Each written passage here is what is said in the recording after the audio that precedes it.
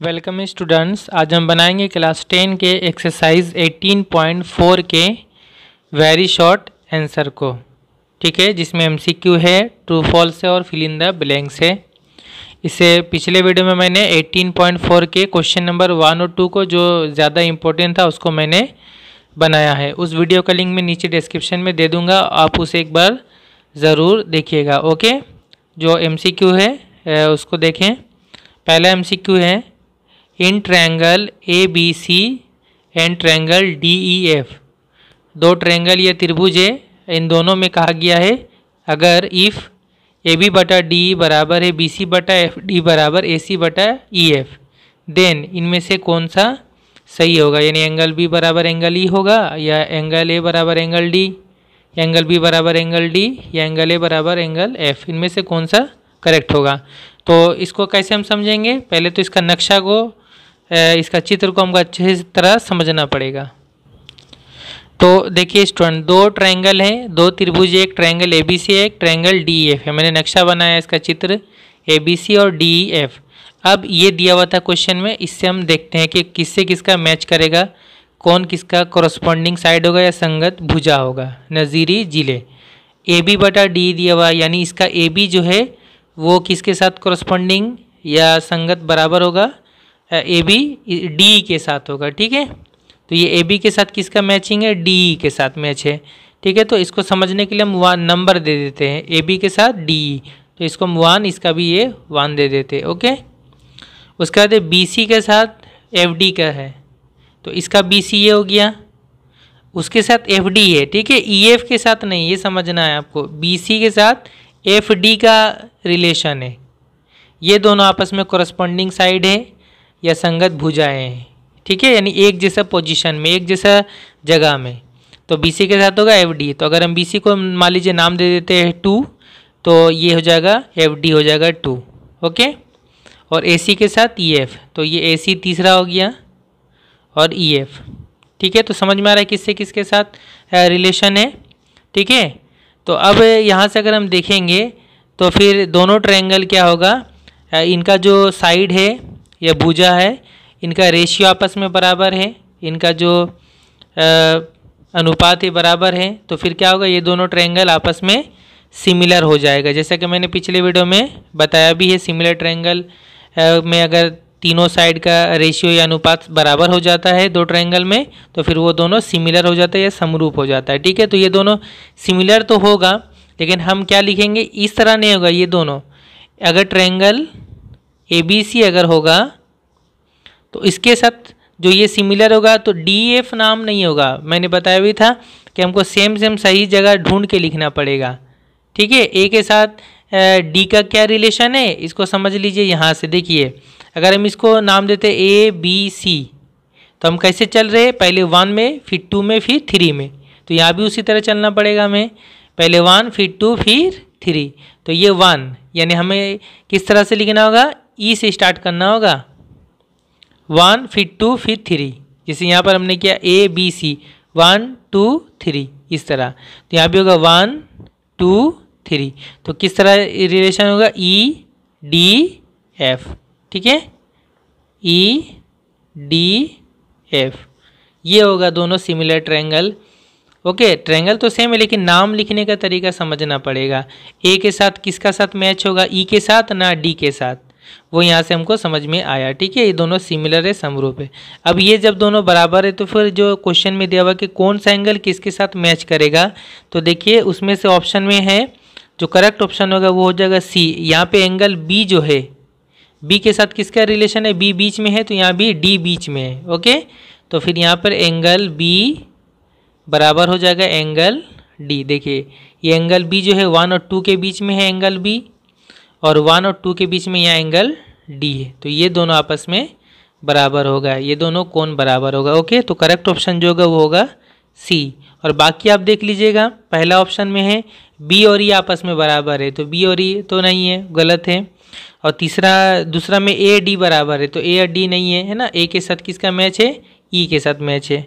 और डी में दिया हुआ ए के साथ एफ़ का तो वो भी गलत है। ठीक है तो ऑप्शन करेक्ट सी वाला होगा। तो हम सी में टिक करेंगे ओके इसके बाद दूसरा क्वेश्चन है, in triangle D E F and triangle P Q R इन दोनों ट्रायंगल या त्रिभुज में एंगल डी बराबर एंगल क्यू है और एंगल आर बराबर एंगल ई है। ये दोनों कोण आपस में बराबर है। Then latest right which of the following is not right तो इनमें से कौन सही नहीं है मतलब गलत है। इनमें से कौन गलत है। इसके लिए भी हमें इसका नक्शा चित्र से समझना पड़ेगा। तो स्टूडेंट ये, ये जो दो नंबर का है ना इसका मैंने नक्शा यहीं पर बना दिया है। आपको दोनों सामने सामने से रख के दिखाना ताकि आपको ये समझ में सही से आ सके ठीक है? एक ट्रायंगल डी ई एफ़ है तो ये डी ई एफ़ हो गया और एक ट्रायंगल पी क्यू आर एक दूसरा है पी क्यू आर है ओके? आ, दोनों ट्रायंगल ये त्रिभुज तो यहाँ पर बोला गया डी के साथ क्यू बराबर है। डी के साथ क्यू तो जहाँ पे डी होगा ना उसी के हिसाब से उसके कॉरस्पॉन्डिंग या संगत में क्यू होगा। तो डी के साथ क्यू बराबर है और आर के साथ ई बराबर है। तो आर कहाँ पर है? आर के साथ ई ई यहाँ पर है। ई ई के साथ आर बराबर होगा। तो अगर ई यहाँ पर होगा तो यहाँ पर होगा आर ठीक है? इसलिए हम यहाँ पे आर नाम लिखेंगे। समझ के अब कौन बचा? इसमें तो डी एफ़ हो गया। इसमें क्यू और आर और कौन सा बच जा रहा है? पी बच जा रहा है पी तो पी ज़रूर, ये तीसरा वाला पी हो जाएगा। ठीक है? ये हो गया पी तो पी क्यू आर समझ में आ गया कहाँ पे होगा? ठीक है? अब इसके ये दोनों जो है दो दो एंगल दोनों में बराबर है दो दो कोण बराबर हैं, ठीक है? तो दो दो अगर एंगल बराबर है तो तीसरा वाला भी ऑटोमेटिक बराबर हो ही जाएगा, ठीक है? क्योंकि दो ट्रायंगल में, दो त्रिभुज में अगर दो दो एंगल बराबर हो जाता है तो तीसरा वाला खुद ब खुद बराबर होता है, ठीक है? आप इसको ट्राई करके भी देख सकते हैं, क्योंकि तीनों को ऐड करके कितना होता है, हमें पता है एक सौ अस्सी होता है। तो मान लीजिए फॉर एग्ज़ाम्पल अगर मैं आपको बता दूँ कि ये मान लीजिए आप है ये मान लीजिए साठ डिग्री है, ओके? और ये मान लीजिए आपका चालीस डिग्री तो यहाँ पर भी ये हो जाएगा साठ और ये हो जाएगा चालीस। ठीक है तो साठ और चालीस कितना हो गया? एक सौ। तो ये बाकी जो बचा ये कितना होना चाहिए? ये होना चाहिए कितना? तीनों जोड़ के एक सौ अस्सी होता है। तो अगर एक साठ और एक चालीस है तो ऑटोमेटिक ये कितना होगा? ये हो जाएगा अस्सी। तब ना तीनों को ऐड करके एक सौ अस्सी होगा। तो यहाँ भी साठ और चालीस है तो ऑटोमेटिक ये कितना होगा? अस्सी होगा। ठीक है?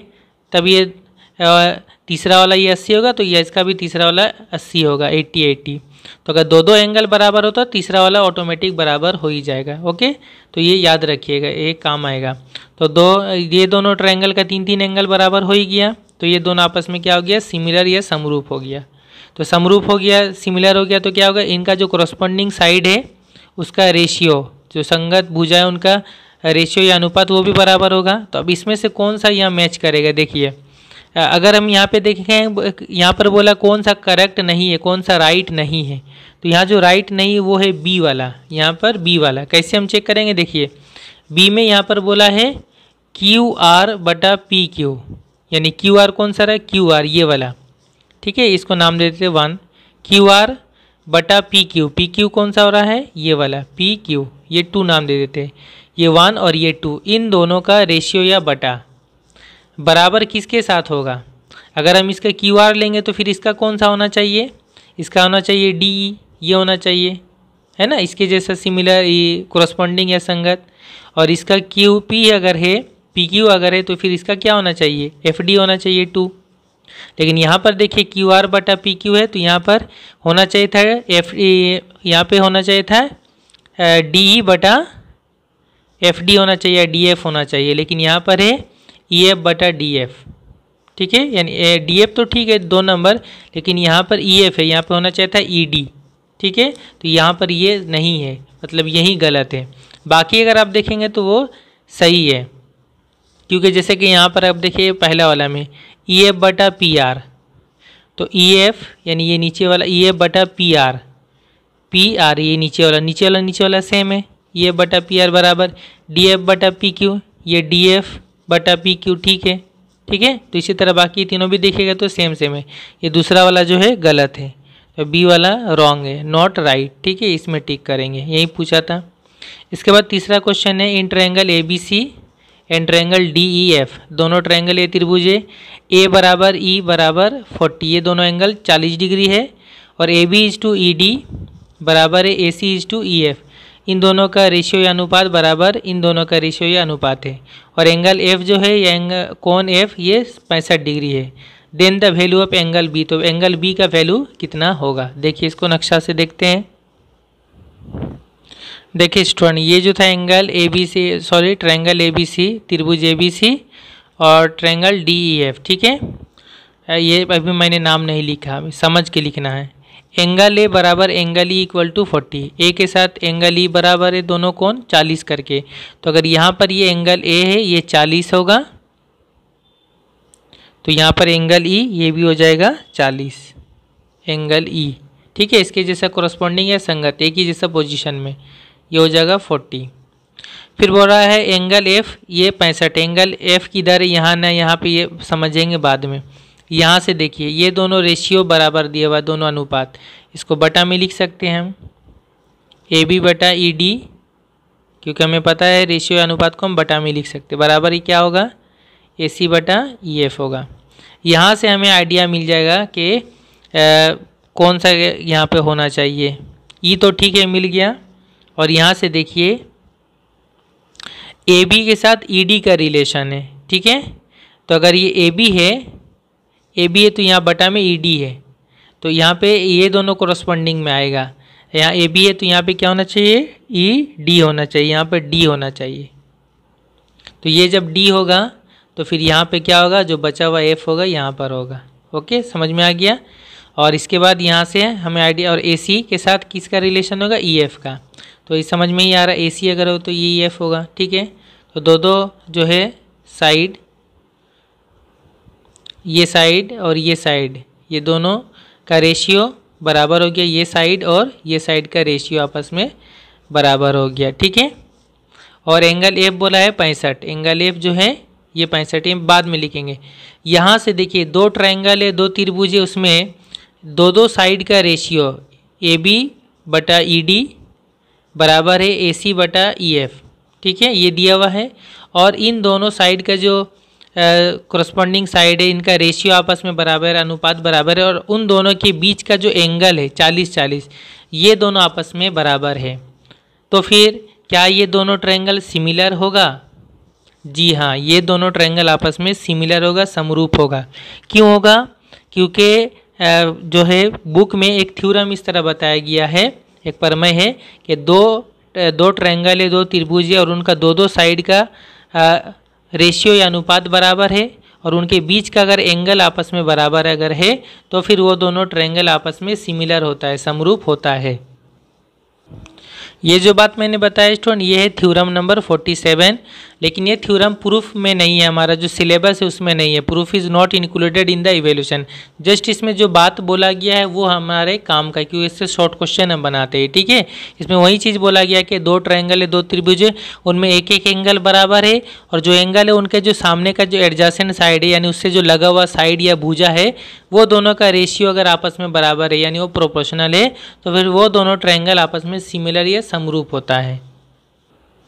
ओके तो इस हिसाब से ये दोनों का रेशियो बराबर है अनुपात और एक एक एंगल बराबर तो ये दोनों आपस में सिमिलर हो जाएगा, ठीक है? समरूप हो जाएगा। जब ये दोनों सिमिलर हो जाएगा लिख सकते हैं हम लोग angle triangle A B C similar हो जाएगा ट्रेंगल किसके साथ होगा? ए बी सी अगर लिखेंगे तो इसको कैसे लिखना होगा? E D F E D F ये दोनों आपस में सिमिलर या समरूप हो गया जब ये दोनों सिमिलर हो गया तो फिर इसका तीनों एंगल और इसका तीनों एंगल आपस में क्या हो जाएगा? बराबर हो जाएगा। तीनों कोण तीनों कोण बराबर हो जाएगा। और इसमें बोला है एंगल एफ़ पैंसठ है तो यहाँ पर एंगल एफ़ के जगह में ये हो जाएगा सिक्सटी फाइव ओके तो फिर ये सिक्सटी फाइव अगर होगा तो यहाँ पर भी हो जाएगा सिक्सटी फाइव क्योंकि दोनों का एंगल सब बराबर होता है, ठीक है? कि इसलिए क्योंकि ये दोनों सिमिलर है, समरूप है। तो अब हमें पूछा है एंगल बी कितना होगा? तो एंगल बी ये वाला कितना होगा? बिल्कुल इजीली हम निकाल सकते हैं। ये दोनों ट्रे ये ट्रायंगल या त्रिभुज का दो एंगल हमें पता है, तीसरा निकाल सकते हैं। तीनों को जोड़ के एक सौ अस्सी होता है। तो तीसरा कितना होगा? एक है चालीस, एक है पैंसठ। तो चालीस और पैंसठ को जोड़ लीजिए, कितना हो जाएगा? छः, चार, दस, एक सौ पाँच हो गया ना? पैंसठ और चालीस जोड़ के एक सौ पाँच। तो तीनों जोड़ के एक सौ अस्सी होता है तो तीसरा वाला कितना होना चाहिए? 180 से 105 को माइनस कर देंगे। तो एंगल बी जो होगा, वो होगा 180 माइनस 105 तो ये हो जाएगा 75 डिग्री, ठीक है? करेक्ट ऑप्शन जो होगा, वो होगा सी वाला। तो यहाँ पर हम सी में टिक करेंगे, ओके? इसके बाद हो गया चौथा वाला है। In triangle A B C and triangle P Q R इन दोनों ट्रेंगल या त्रिभुज में ये दिया हुआ है ए बी बटा क्यू आर बराबर बी सी बटा पी आर बराबर सी ए बटा पी क्यू यानी इनके जो तीनों साइड है, इसका तीनों side A B B C और सी ए और इसका जो तीनों साइड है Q R P R P Q ये तीनों भुजा जो है, इनका जो रेशियो या अनुपात है, ये सब आपस में बराबर है. ठीक है? तो फिर यहाँ से हम क्या बोल सकते हैं? मैंने नोट में बताया भी था, दो ट्रायंगल का अगर तीनों साइड तीनों भुजाओं का रेशियो या अनुपात जो या बटा वाला बराबर होता है तो फिर ये दोनों ट्रायंगल क्या हो जाता है? आपस में सिमिलर हो जाता है, समरूप हो जाता है, ठीक है? तो ये दोनों आपस में सिमिलर होगा। तो फिर इसका तीनों एंगल इसका तीनों एंगल आपस में बराबर हो जाएगा। इसका तीनों कोण तीनों कोण बराबर हो जाएगा। तो फिर इनमें से कौन वाला सही होगा? यानी यहाँ खाली ये चेक करना कि किसके साथ कौन सा मैच कर रहा है। तो यहाँ से देखिए बिल्कुल इजीली बगैर नक्शा या चित्र बनाए भी हम यहाँ से पकड़ सकते हैं कौन सा सही होगा। देखिए, यहाँ से अगर हम मिलाएँगे ए बी है तो यहाँ पर क्या है? क्यू आर है। तो ए के साथ क्यू का मैचिंग हो रहा है ना? और बी के साथ आर का। वही चीज़ अगर आप लास्ट में देखेंगे तो आप समझ सकेंगे ए है यहाँ नीचे क्यू है। तो ए के साथ क्यू का मैच हो रहा है और सी के साथ पी का। ठीक है? तो ए के साथ क्यू का मैच यहाँ से समझ में आ रहा है। ठीक है? यहाँ बी के साथ किसका हो रहा? है आर के साथ। यहाँ पर भी बी के साथ यहाँ समझ में आ रहा होगा आपको पी होगा, लेकिन नहीं, यहाँ बी के साथ आर मिल गया तो यहाँ समझना होगा बी के साथ आर मिलेगा और सी के साथ पी क्योंकि यहाँ सी के साथ पी है। और ए के साथ क्यू दोनों जगह में, समझ में आ जा रहा है ए के साथ तो क्यू ही होगा। ठीक है? तो अगर हम नक्शा भी बनाएँगे तो उसी हिसाब से बनेगा। तो यहाँ जस्ट हम उतना नहीं देखना ए के साथ क्यू मैच कर दो जगह ने। जब सिमिलर होगा तो ए के साथ क्यू मैच करेगा। ये नहीं होगा, ठीक है? यानी हम देखेंगे तो triangle A B C similar होगा, लेकिन इसका नाम में थोड़ा आगे पीछे होगा। ए के साथ क्यू मिल जाएगा और बी के साथ मिलेगा आर मिलेगा। और सी के साथ कौन सा मैच करेगा? सी के साथ पी मैच करेगा, ठीक है? पी तो A B C triangle similar होगा, समरूप होगा किसके साथ? क्यू आर पी के साथ होगा। तो ए के साथ कौन मैच करेगा? क्यू मैच करेगा, जो मैंने यहाँ से समझा दिया। एंगल ए एंगल क्यू के साथ बराबर होगा, ठीक है? तो ऑप्शन ए करेक्ट होगा। ठीक है? इसके बाद आखिरी जो क्वेश्चन है, पाँच नंबर, ये इंपॉर्टेंट क्वेश्चन भी है। In triangle A B C A B equal to nine centimetre B C equal to six centimetre and C A equal to seven point five centimetre A B C त्रिभुज में A B नौ centimetre है B C छः centimetre C A seven point five centimetre है. In triangle D E F the corresponding side of B C is E F D F एक triangle ये त्रिभुज है, उसमें जो बी सी का कोरस्पॉन्डिंग साइड या बी सी का जो संगत भुजा है, उसके जैसा। उसके जैसा जगह में पोजीशन में। वो है ई e एफ़ ठीक है? यानी बी सी के साथ ई e एफ़ का रिलेशन है, संबंध है। और ई e एफ़ को बोला गया आठ सेंटीमीटर है। And if angle D E F sorry triangle D E F similar to triangle A B C और ये दोनों जो ट्रैंगल या त्रिभुज आपस में सिमिलर है, समरूप है। Then the perimeter of triangle D E F will be तो ट्रैंगल डी एफ़ का पेरीमीटर क्या होगा? यानी परिधि क्या होगा? ठीक है? तो इसको बनाने के लिए स्टूडेंट एक हम एप्लीकेशन पे जाएँगे, वो इम्पोर्टेंट एप्लीकेशन है। मैं दिखाता हूँ। जिस एप्लीकेशन का बात मैं कर रहा हूँ स्टूडेंट वो है पेज नंबर 251 में है एप्लीकेशन नंबर 13 है। इस एप्लीकेशन में ये बोला गया है कि दो सिमिलर ट्रेंगल अगर है, दो समरूप अगर ट्रेंगल है तो उनके पैरीमीटर या परिधि का जो रेशियो होगा, अनुपात होगा, वो उनके कॉरस्पॉन्डिंग साइड उनका जो साइड होगा संगत, भुजा, जो भी होगा कॉरस्पॉन्डिंग साइड उसके रेशियो के साथ बराबर होता है, ठीक है? तो जैसे कि यहाँ दो ट्रेंगल ए बी सी और पी क्यू आर ये दोनों आपस में सिमिलर है, ठीक है? तो perimeter of A B C A B C का परिधि और perimeter of P Q R ये बराबर क्या हो जाएगा? उनका जो कॉरस्पॉन्डिंग साइड है, कोई भी एक ले सकते हैं हम उनके कॉरस्पॉन्डिंग साइड के रेशियो के साथ बराबर होगा ये बटा मने रेशियो होता है, अनुपात होता है, ठीक है? और ये एप्लीकेशन बहुत ही इंपॉर्टेंट एप्लीकेशन भी है, जो एग्ज़ाम में तीन नंबर का जो एक्स्ट्रा थ्योरम आता है परमेय आता है, उसमें भी ये कई बार आ चुका है, माध्यमिक हाई मदरसा एग्ज़ाम में भी। तो इसको आप याद रखिएगा, ठीक है? इससे हम बनाने वाले हैं। तो देखिए स्टूडेंट जो दिया हुआ था क्वेश्चन के हिसाब से मैंने यह नक्शा चित्र बनाया है। ए बी सी ट्रायंगल है, त्रिभुज है, उसमें बोला ए बी नौ सेंटीमीटर है ए बी नौ सेंटीमीटर बी सी छः सेंटीमीटर है और सी ए साढ़े सात सेंटीमीटर है सेवन पॉइंट फाइव सेंटीमीटर ठीक है? और ए डी ई एफ़ और A B C D E F और ए बी सी आपस में सिमिलर है, ठीक है? तो D E F A B C के साथ तो ए के जगह में डी हो जाएगा, यहाँ डी हो जाएगा ए के जगह में डी और बी के जगह में ई हो जाएगा बी के जगह में ई और सी के जगह में एफ़ होगा, ठीक है? ये दोनों आपस में सिमिलर है, समरूप है। और इसके साथ बोला क्या है कि ई एफ़ जो है आठ सेंटीमीटर है और ई एफ़ जो है वो बी सी का कोरस्पॉन्डिंग साइड है, उसका संगत भुजा है। तो बी सी अगर यहाँ पर है तो ठीक इसके नीचे ई एफ़ होगा। ये अगर छः सेंटीमीटर ये आठ सेंटीमीटर है, ये बोल दिया था क्वेश्चन में। तो अभी मैंने क्या बताया, दोनों सिमिलर हैं ट्रायंगल दोनों समरूप है। तो इसका पेरीमीटर बटा इसका पेरीमीटर या जो भी बोले इसका पेरीमीटर बटा इसका पेरीमीटर इन दोनों का जो परिधि का बटा होगा रेशियो या अनुपात होगा, वो बराबर उनके कॉरस्पॉन्डिंग साइड के रेशियो अनुपात के बराबर होगा। ठीक है? तो यहाँ जो कॉरस्पॉन्डिंग इनका रे पेरीमीटर ऑफ़ डी एफ़ इसका पेरीमीटर हमें निकालना है, इसको हम पहले लिख लेते हैं, ठीक है? Perimeter of D F triangle D F इसका परिधि बटा perimeter of triangle A B C इसका पैरामीटर बराबर क्या होगा? इनका कोरस्पॉन्डिंग साइड का रेशियो तो कोई सा भी हम साइड ले सकते हैं उस हिसाब से। तो हम कौन सा लेंगे? जो क्वेश्चन में दिया हुआ है। इसका हम ले लेते हैं, इसका नाम पहले है तो इसका ले लेंगे जो दिया हुआ था, आठ सेंटीमीटर ई एफ़ बटा इसका कौन सा ले लेंगे? ई एफ़ अगर लेंगे तो इसका लेंगे हम बी सी ठीक है? और अब वैल्यू बैठा देंगे तो आ जाएगा हमारा इसका पैरीमीटर और perimeter of triangle D E F बटा perimeter of triangle A B C A B C triangle का पेरीमीटर या परिधि क्या होगा? पेरीमीटर ऑफ़ मतलब क्या होता है? तीनों साइड का जो नाप है, उसको जोड़ने से पेरीमीटर होता है, उसी को हम लोग बोलते हैं। तो ए बी सी का पेरीमीटर क्या होगा? नौ छः और साढ़े सात को जोड़ दीजिए, वही होगा। तो नौ छः पंद्रह पंद्रह और साढ़े सात, कितना हो जाएगा? पंद्रह सात बाईस पॉइंट पाँच, साढ़े बाईस होगा। तो perimeter of A B C हो जाएगा कितना? बाईस पॉइंट पाँच। बराबर ये हो जाएगा कितना? ई एफ़ कितना दिया हुआ? ई एफ़ आठ। बटा बी सी कितना है? छः है। ठीक है? यहाँ से पेरीमीटर ऑफ़ डी एफ़ निकाल लेंगे यहाँ छः और आठ को काट लीजिए। दो से, दो चौके आठ, दो तिया छः ठीक है? तो क्रॉस मल्टीप्लाई करेंगे तो पेरीमीटर ऑफ़ डी एफ़ बराबर क्या होगा? ये जो नीचे बाईस पॉइंट पाँच ये इधर इंटू हो जाएगा इसके साथ, चार के साथ। तो और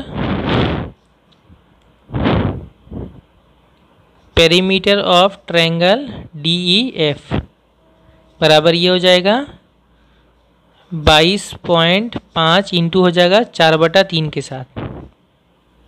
तो देखिए यहाँ काटेंगे तो कट जाएगा ये। इसको अगर पॉइंट को हटाएँगे तो नीचे आ जाएगा कितना? एक पॉइंट के बाद इधर एक नंबर है तो नीचे दस हो जाएगा। अब ये काट दीजिए, तीन से तीन सत्ते इक्कीस, एक गया पंद्रह, तीन पचे पंद्रह।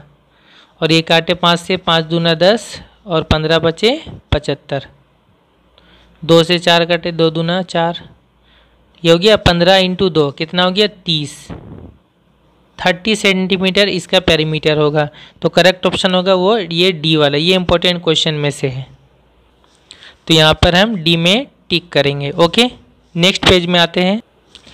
नेक्स्ट पेज में बी में है ट्रू फॉल्स है सही, गलत क्या है? तो पहला है if the corresponding angles of two quadrilaterals are equal then they are similar. कहा जा रहा है, अगर दो क्वाड्रिलेटरल या दो चतुर्भुज, यानी चार साइड से घिरा हुआ चार भुजा से घिरा हुआ अगर दो क्वाड्रिलेटरल का अगर कॉरस्पॉन्डिंग एंगल या उनका संगत जो कोण है, अगर वो कॉरस्पॉन्डिंग एंगल इक्वल है, बराबर है तो क्या वो दोनों सिमिलर होगा?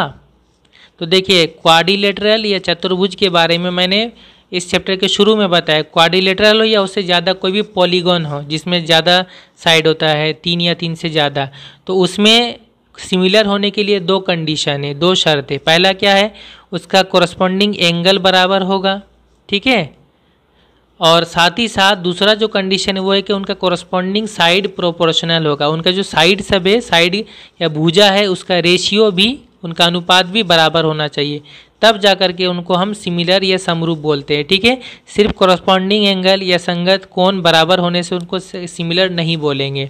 लेकिन ए, ये सिमिलर होता है कब? सिर्फ़ ट्रैंगल के बारे में। ट्रैंगल या त्रिभुज में अगर उनका सिर्फ़ करस्पॉन्डिंग एंगल बराबर हो जाए तो फिर वो सिमिलर हो जाएगा, ठीक है? लेकिन ट्रैंगल को छोड़कर क्वाड्रिलेटरल अगर वो चार साइड वाला हो या पाँच साइड वाला छः साइड वाला हो, ठीक है? तो उसमें कॉरस्पॉन्डिंग एंगल भी बराबर होना चाहिए और कॉरस्पॉन्डिंग साइड भी प्रोपोर्शनल होना चाहिए। तब जाकर वो सिमिलर होगा। तो यहाँ क्वाड्रिलेटरल का बात है तो ये सिमिलर नहीं होगा, सिर्फ़ करस्पॉन्डिंग एंगल बराबर होने से। ठीक है तो ये पहला वाला फॉल्स होगा। दूसरा में है, ये नक्शा दिया हुआ ए बी सी या डी और ई e दिया हुआ है, और इस नक्शा में चित्र में बोला है angle A D E A D E ये वाला। ये बराबर है angle A C B A C B ये वाला बड़ा वाला ट्रेंगल या त्रिभुज का सी के साथ बराबर है। तो बोल रहा है कि angle A triangle A D ऊपर वाला ए डी ये छोटा वाला ट्रायंगल त्रिभुज, और triangle A C B A C A C B ये बड़ा वाला ट्रायंगल ठीक है? ये दोनों त्रिभुज के आपस में सिमिलर होगा, ये सही है या गलत? तो देखिए, दोनों ट्रायंगल या दो त्रिभुज सिमिलर होने के लिए क्या ज़रूरी है कि उनका तीनों साइड तीनों साइड सॉरी तीनों एंगल बराबर होना चाहिए, तीनों कोण बराबर होना चाहिए, जो कॉरस्पॉन्डिंग है। तो यहाँ अगर हम देखेंगे, छोटा वाला ट्रायंगल में एक एंगल इसका और एक एंगल इसका। एक एक कोण बराबर तो है ही है। और दूसरा कोण कौन सा बराबर होगा? देखिए, इस ट्रायंगल को अगर हम पकड़ेंगे तो इसमें एंगल ए है, या एंगल ए है, और यही वाला एंगल है बड़ा वाला ट्रायंगल में भी है, इस बड़े वाले त्रिभुज में भी है एंगल ए अगर इसमें भी लिखेंगे तो यहाँ भी ए है ए सी बी इसमें भी ए है, और छोटा वाला को अगर हम पकड़ेंगे तो इसमें भी ए है। ठीक है ना? तो दोनों ट्रायंगल में, ये छोटा वाला ट्रायंगल ए डी और बड़ा बड़ा वाला ट्रायंगल ए सी, बी। इन दोनों में देखिए दो दो एंगल बराबर हो गया। एक तो ए दोनों में है, एक एक एंगल बराबर हो गया, एक एक कोण। और दूसरा वाला कोण क्या बराबर होगा इसका डी और इसका सी, दो दो बराबर हो गया। तो दो दो कोण या दो दो एंगल बराबर हो गया तो तीसरा वाला क्या हो जाएगा? एंगल जो बचा, वो ऑटोमेटिक बराबर होगा। मैंने अभी जस्ट शॉर्ट क्वेश्चन में बताया, है ना? तो इसका तीसरा वाला ये बचा, ये वाला और इसका तीसरा ये वाला बचा, ये दोनों ऑटोमेटिक बराबर हो ही जाएगा। तो फिर तीनों एंगल तीनों एंगल या तीनों कोण बराबर हो गया तो ये दोनों सिमिलर होगा, ठीक है? ये ट्रू होगा। और तीसरा बोला है in triangle P Q R P Q R त्रिभुज में D is a point on the side Q R so that P D perpendicular upon Q R P Q R triangle में क्यू आर साइड पर एक point D इस तरह से है कि पी डी जो है वो क्यू आर के ऊपर में परपेंडिकुलर है अमूद या लंब है। So triangle P Q D similar to triangle R P D क्या ये दोनों आपस में सिमिलर होगा? इसको नक्शा से समझते हैं। देखिए स्टूडेंट तीसरा जो क्वेश्चन है, इस तरह का नक्शा होगा। पी क्यू आर एक ट्रायंगल त्रिभुज है, उसमें बोला है पी डी जो है वो क्यू आर के ऊपर में परपेंडिकुलर है। ये परपेंडिकुलर यानी यहाँ नाइन्टी बनाएगा, इधर भी नाइन्टी बनाएगा, ठीक है? और उसके बाद हमसे क्वेश्चन में ये पूछा है कि पी क्यू डी ये लेफ़्ट साइड वाला ट्रायंगल पी क्यू डी ये वाला छोटा सा, और R P D R P D ये दोनों के आपस में सिमिलर होगा? ये छोटा वाला और ये छोटा वाला। तो अगर आप थ्योरम नंबर फोर्टी एट में जाएँगे फोर्टी एट नंबर परमय में तो उसमें आप देखेंगे कि इस तरह से होने से ये दोनों आपस में सिमिलर होता है। लेकिन वहाँ पर एक कंडीशन एक शर्त है कि ये जो बड़ा वाला ट्रेंगल है पी क्यू आर ये ट्रेंगल एक राइट एंगल ट्रायंगल होता है सम समकोणीय त्रिभुज होता है, जिसमें यहाँ पी पर 90 डिग्री बनता है, ठीक है? लेकिन इस क्वेश्चन में जो है पी क्यू आर के बारे में ऐसा कुछ नहीं बोला है कि यहाँ पर 90 डिग्री है। जस्ट सिर्फ़ बोला है ट्रायंगल पी क्यू आर त्रिभुज त्रिभुज पी क्यू आर ठीक है? यहाँ पर पी नाइन्टी ऐसा कुछ नहीं बोला। इसलिए इसमें हम नहीं बोल सकते कि ये दोनों आपस में सिमिलर होगा। तो ये तीसरा वाला क्या होगा? फॉल्स होगा। ओके इसके बाद हम आते हैं खाली जगह में। पहला है टू ट्रेंगल्स आर सिमिलर दो त्रिभुज सिमिलर होंगे। इफ़ देयर उनका। साइड्स आर प्रोपोर्शनल उनके साइड प्रोपोर्शनल होंगे। यह समानुपात होंगे। कौन से साइड प्रोपोर्शनल ये समानुपात होंगे। कॉरस्पॉन्डिंग साइड ही तो यहाँ कॉरस्पॉन्डिंग होगा। संगत। ठीक है? और क्वेश्चन आंसर में आप देखिएगा तो आंसर में हो सकता है इंग्लिश बुक में गलत दिया हुआ है सिमिलर लिखा हुआ है। सिमिलर नहीं होगा कॉरस्पॉन्डिंग होगा। ठीक है? संगत भुजाएँ। और दूसरा क्या है? दूसरा इंपॉर्टेंट है।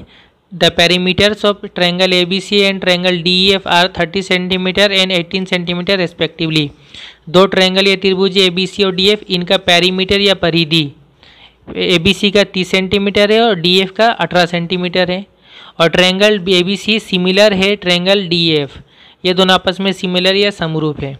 और B C and E F are corresponding side ये दोनों आपस का कॉरस्पॉन्डिंग साइड ये संगत भुजाएँ है। और बी सी नौ सेंटीमीटर है तो ई e एफ़ कितना सेंटीमीटर होगा? अभी जस्ट मैंने इस पर बनाया था शॉर्ट एम सी क्यू का पाँच नंबर उसी को हम यूज़ करेंगे। तो स्टोन क्या क्या दिया हुआ है? Perimeter of A B C thirty centimetre perimeter of D F अठारह सेंटीमीटर दोनों का परिधि दिया हुआ है। और ये दोनों आपस में सिमिलर है, समरूप है। और बी सी का, और ई एफ़ दोनों करस्पॉन्डिंग साइड है, से भुजा है, ठीक है? संगत भुजा है। बी सी नौ सेंटीमीटर ई एफ़ कितना होगा? वही फॉर्मूला कि perimeter of triangle A B C A B C का पेरीमीटर बटा perimeter of triangle D F इन दोनों का पेरीमीटर या परिधि बराबर क्या होगा? इनका जो कॉरस्पॉन्डिंग साइड होगा, इसका बी सी और इसका ई एफ़ ये दोनों कॉरस्पॉन्डिंग साइड है। तो ये दोनों का रेशियो के साथ बराबर होगा, अनुपात के साथ बराबर होगा। इसके बाद हम वैल्यू पुट कर देंगे, हमारा बन जाएगा मैथ तो और पेरीमीटर ऑफ़ एबीसी कितना है? थर्टी सेंटीमीटर है। बटा पेरीमीटर ऑफ़ डीएफ कितना है? अठारह सेंटीमीटर है, बराबर बीसी दिया हुआ है, नौ सेंटीमीटर बीसी और बटा ईएफ निकालना है। तो यहाँ से निकाल लेंगे बिल्कुल इजीली ये दोनों को काटे, देखिए ये छः से कट जाएगा, छः तीन अठारह और छः पचे तीस हो गया, ठीक है? क्रॉस मल्टीप्लाई कर दीजिए फाइव के साथ ये इंटू हो जाएगा फाइव ई एफ़ बराबर ये हो जाएगा तीन से नौ इंटू हो जाएगा, नौ तीन सत्ताईस। और ये बराबर कितना होगा? सत्ताईस या पाँच इंटू इधर आएगा, पाँच सत्ताईस के नीचे आ जाएगा डिवाइड होगा। सत्ताईस को पाँच से डिवाइड करें तो पाँच पचे पच्चीस, बचेगा दो पॉइंट लेंगे ज़ीरो पाँच चौके बीस, okay five point four centimetre okay तो ये हो जाएगा खाली जगह में। तो यहाँ पर हो जाएगा 5.4 सेंटीमीटर ओके नेक्स्ट वीडियो में मैं शॉर्ट आंसर वगैरह बनाऊँगा। Thank you very much